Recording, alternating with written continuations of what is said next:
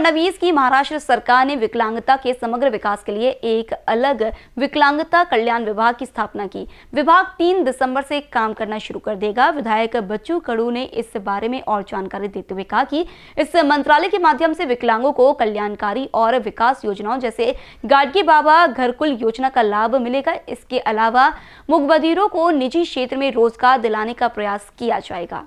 खरं तर खूप ऐतिहासिक निर्णय आहे आणि यालाही नशीब पाहिजे. हे पुण्य खरं तर शिंदे सरकारलाच भेटणार होतं असं मला वाटलं वाटतं. कारण आम्ही गेल्या पंधरा वीस वर्षापासून अनेक मुख्यमंत्र्यांसमोर आंदोलन केली उपोषणं केली आणि सगळं केल्यानंतर सातत्यानं दिल्लीला आम्ही गेलो तिथे तिथे पण आंदोलन केलं.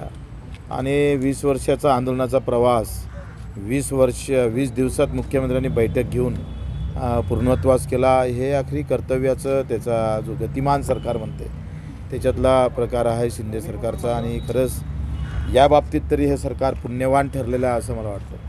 आता ते छत्रपती शिवाजी महाराज आणि तेव्हाचं जो बंड होता तेव्हाचं जे क कर्तव्य होतं त्याचं नातं आपल्याला एकदम असं तुलना नाही करता येईल. ते बरोबरही नाही आहे. मला वाटते काही शब्द चुकून कधी कधी निघत राहतं. पण छत्रपतीच्या एखाद्या कार्यासोबत एखाद्या गोष्टीसोबत एखाद्या घटनेसोबत काही गोष्टी साम्य असू शकतं. पण आपण तुलना म्हणून ते करू शकत नाही इतकं खरं